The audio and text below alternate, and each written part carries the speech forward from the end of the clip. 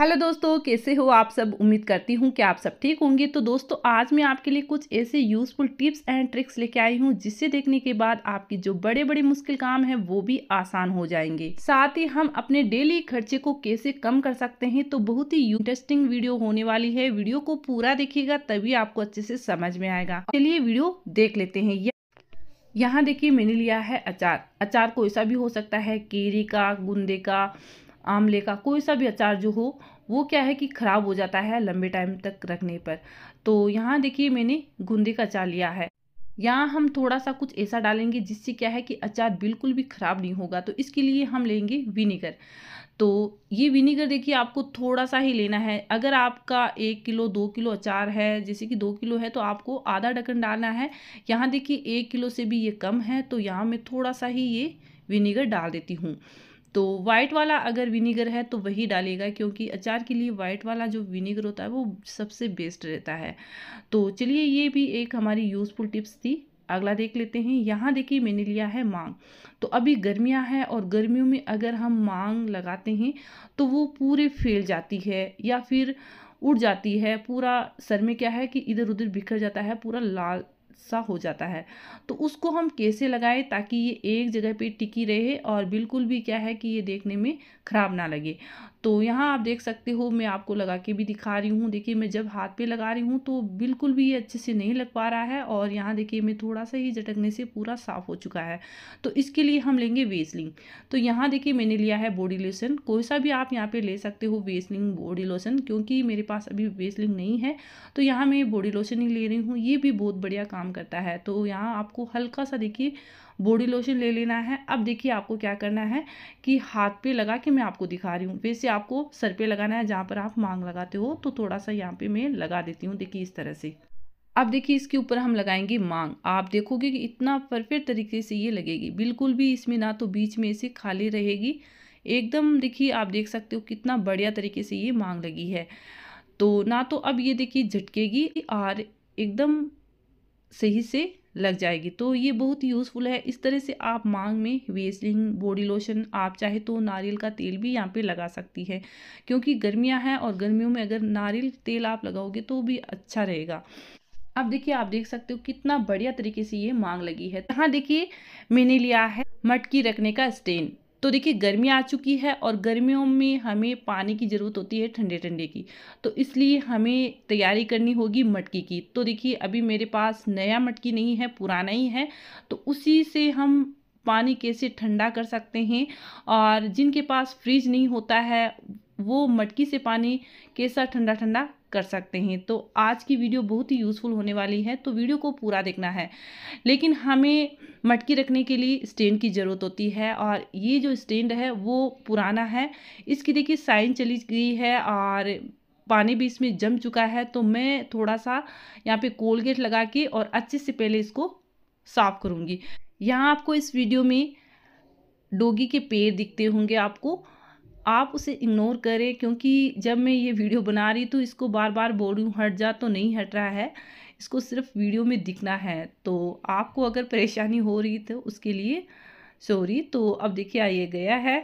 तो चलिए मैं इसको पूरा अच्छे से साफ़ करके दिखाती हूँ कि कोलगेट से ये कितना बढ़िया तरीके से साफ़ हो जाता है। तो इसीलिए हमने यहाँ पे कोलगेट का यूज़ किया है, क्योंकि अगर हम साबुन सरफ से अगर इसको साफ़ करते तो ये इतना अच्छा नहीं साफ़ होता। तो यहाँ देखिए मैंने स्क्रब ले लिया है और अच्छे से इसको देखिए, इस तरह से कर लेंगे, क्योंकि ये ब्रश छोटा है और छोटे ब्रश से ये आसानी से साफ़ नहीं हो पाता है। हम उसको लगा तो लेते हैं ब्रश से, लेकिन साफ़ करने में थोड़ी दिक्कत होती है तो यहाँ मैंने स्क्रब ले लिया है।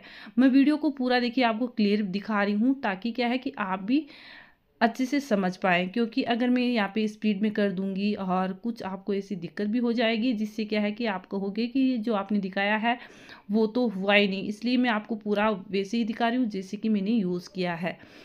और फ्रेंड्स अगर आपको वीडियो पसंद आ रही है तो प्लीज़ वीडियो को लाइक करें और ज़्यादा से ज़्यादा शेयर ज़रूर करें। यहाँ देखिए आपको अच्छे से इसको मसल के साफ़ कर लेना है। तो चलिए मैं यहाँ पे वीडियो को थोड़ा स्पीड में कर लेती हूँ। कमेंट भी आ रहे थे कि हमारे पास फ्रिज नहीं है।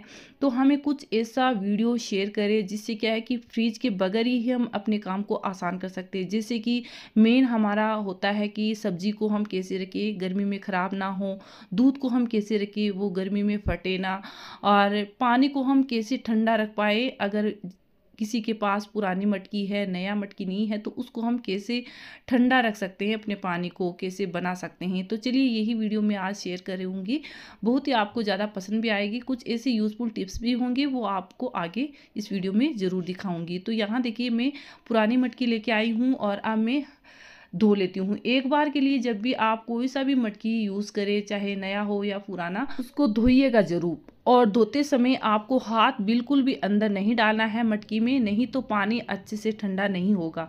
तो ये एक बहुत ही यूज़फुल टिप है मटकी के लिए।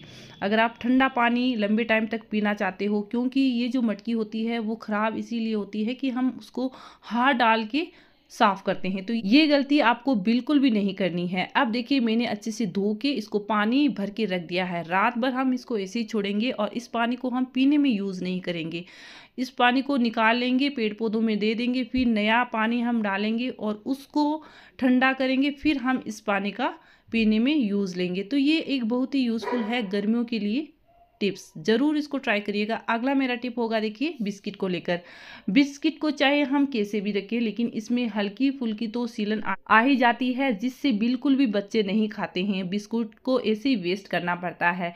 तो यहाँ देखिए, हम थोड़ा सा डाल देंगे चीनी और अच्छे से इसको पैक करके रख देंगे। बहुत ही यूज़फुल टिप है, ज़रूर इस तरह से आप ट्राई करिएगा। अगला मेरा टिप होगा, देखिए, कॉफ़ी को लेकर।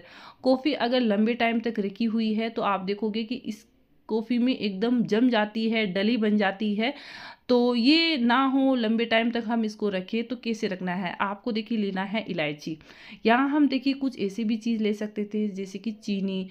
तो चीनी आपको इसमें बिल्कुल भी नहीं डालनी है। अगर आप चीनी डाल दोगे तो गर्मी में मेल्ट होके ये जम जाएगा। तो ये एक बहुत ही यूज़फुल है। आपको देखिए, इलायची डालना है। इलायची में इस तरह की जो सीलन होती है, जमने की जो इसमें प्रॉपर्टीज़ होती है, वो नहीं होने देती है। तो आप क्या है कि ये इलायची दो तीन डाल दीजिए इसमें। चाहे अगर बड़ा है तो आप चार पाँच डाल दीजिए। यहाँ पे छोटा डिब्बा मैंने लिया है तो इसमें मैं दो तीन इलायची डाल देती हूँ। तो चलिए देख लेते हैं हमारा अगला यूज़फुल टिप्स तो अगला मेरा टिप होगा, देखिए, ब्रेड को लेकर। हम क्या करते हैं कि ब्रेड, देखिए, जब भी आधा रह जाता है तो इस तरह से इसको लपेट के रखते हैं। लेकिन ये क्या है कि ये निकल जाता है और फिर क्या है, ब्रेड सूख जाती है। तो इसके लिए मैं छोटी सी टिप बताऊँगी। देखिए, आपको लेना है सेफ्टी पिन। यहाँ देखिए, मैंने एक सेफ्टी पिन लिया है और इससे, देखिए, हम ब्रेड के ऊपर लगा देंगे। अब ये बिल्कुल भी, देखिए, नहीं खुलेगा और ये एक बटन की तरह ये यूज़ हो जाएगा। तो आपको ये तरीका कैसा लगा, कमेंट करके ज़रूर बताइएगा। अगला मेरा टिप होगा, देखिए, पॉलीथीन को लेकर। पॉलीथीन हम क्या करते हैं? इस तरह से, देखिए, इसको रख देते हैं, जिसकी वजह से ज़्यादा भीड़ हो जाती है और अच्छे से ये सेड भी नहीं रहती है। तो आपको क्या करना है, देखिए, पॉलीथीन को इस तरह से दोनों साइड में खींच के और जहाँ मैं, देखिए, वीडियो में कर रही हूँ, सेम आपको ऐसे ही करना है। अब देखिए, आपको क्या करना है, इस तरह से इसको लपेटना है। इससे, देखिए, ये अच्छे से कवर भी हो जाएगा और क्या है कि ये बिखरे भी नहीं। तो थोड़ी सी स्पेस में आप ढेर सारी पन्नी को रख सकते हैं। आपको ये तरीका कैसा लगा कमेंट करके ज़रूर बताइएगा। और फ्रेंड्स, आज की वीडियो में आपको सबसे यूज़फुल टिप्स कौन सी लगी मुझे कमेंट करके ज़रूर बताइएगा। तो मैं अपनी वीडियो को यहीं पे एंड करती हूँ।